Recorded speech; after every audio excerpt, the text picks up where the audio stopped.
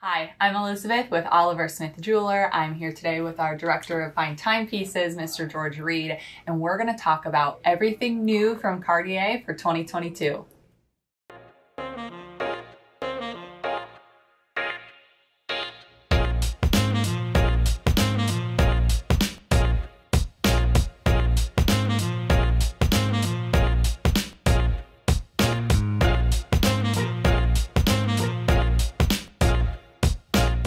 All right, we are back from Geneva, back from Watches and Wonders, and there is a lot to digest from Cartier's releases this year. Yeah, a lot of stuff. Um, uh, I think, like a lot of other brands, they didn't really necessarily set out to reinvent the wheel, but it was just more the same. And what's great about Cartier is they have a century of design language to pull from. So um, their their bag of tricks is pretty deep, and they went deep for some of this stuff. They went deep. So we're going to touch on sort of our favorites. Again, there were a lot of releases. Yeah, yeah. Um, but let's start with the tank. Classic Cartier watch we all know and love. Yep. Two different variations. They've re-released the Chinois. Yeah, crazy. Um, I haven't seen one in years, and I, I kind of I knew it was coming out, and I just kind of like walked over it. Um, my goodness, seeing that watch live, um, it's fantastic. They did a really, The really nice job of with it. it is so well done. It's inspired by Chinese temples. It originally came out years ago. Yeah, it, yeah. it really seems like a collector's piece for me if you're into tanks and Cartier And, history. and it's still kind of, you know, in the Privé collection. It's still something you're not going to see a ton of. Um, it's going to be a little hard to get a hold of, but they did this really simple one in platinum, platinum dial, and um, I put it on. I just wanted to be a better person. Um, I wanted to do George, a little tear came out when George put that It on. was really, really good. Yeah, the size was perfect. No, just a phenomenal watch. it found its home. Yeah. Um, all black. Let's talk about this. This might have been my favorite, especially in that yellow gold combination. Yeah. I don't want to call the dial a phantom black, which we were just referring Yeah, to. yeah, it's- yeah. It doesn't go on forever, but it's really dark. It's really dark. Really cool. And I think it's just a lacquer.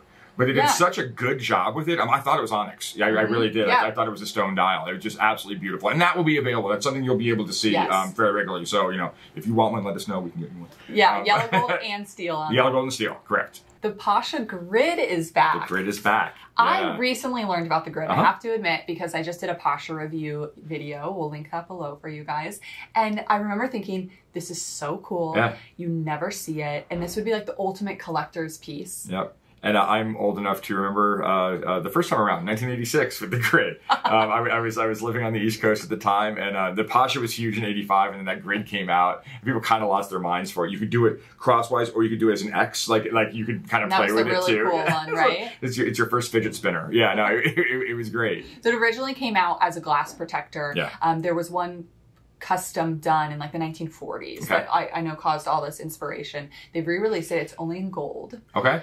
And you, fun fact, you can, if you own a gold Pasha, you can buy the grid to put your Really? piece. It, yeah. it, will it'll retrofit back. I think if it's a, like more of a modern piece, Oh, but yeah, right. let us know if you have one and you want Cool, to add that yeah, on. yeah. I think if you're into Cartier history and collecting, this is a watch you need to It's an important watch. Yeah, yeah. You need to you need to take a look at it. and if I saw this out and about, I would be like, that is a really cool watch. I'm gonna stop you and buy you a drink. Yeah, yeah, for sure. We also got some new Panther releases from Cartier. Yeah. I love the Panther. I'll talk about it all day long. You did a whole video on it. Yeah, Yeah, the yeah, bracelet yeah. is so subtle and comfortable. Um, a couple different sunray dials, I think, to note. Personally, I loved the blue. I, I think we yeah, we, we shared that one in common. Um, everything else was was you know it, it's that same color all the way around, which is great on the Panther because it does go into that bracelet thing. But the the blue on white with the with the diamonds in particular was, a, was just a really really good version. Okay, so some of my favorite pieces that Cartier showed us were the new Santos collection. Um, Sa- Santos Santos. Um, they they are touching on blue again. And instead of just doing a blue dial, they're doing a PVD blue bezel. Uh, kind of that, that that that cover portion is now done in PVD, and it's uh, lined now. There's this um, great uh, uh, industrial look, top to bottom. Uh, you almost have to really study it to even see it. It looks like it was there all along. You're like, wait a minute, has- has that always been there? And I just think it's absolutely fantastic. That and they have some more skeleton centers coming out, which they're doing. Also one of George's favorites. Yeah, and, and that's a little unobtainium for me. Um, but if, if if you know lottery hits or you know Oliver's feeling rather generous, um, the, the skeletonized Santos would be a way for me to go. Uh, they did a blue. Um, kind of a gray black colorway, but they did this green enamel. Again, green being the new blue this year, we're seeing a lot of it. A lot of green.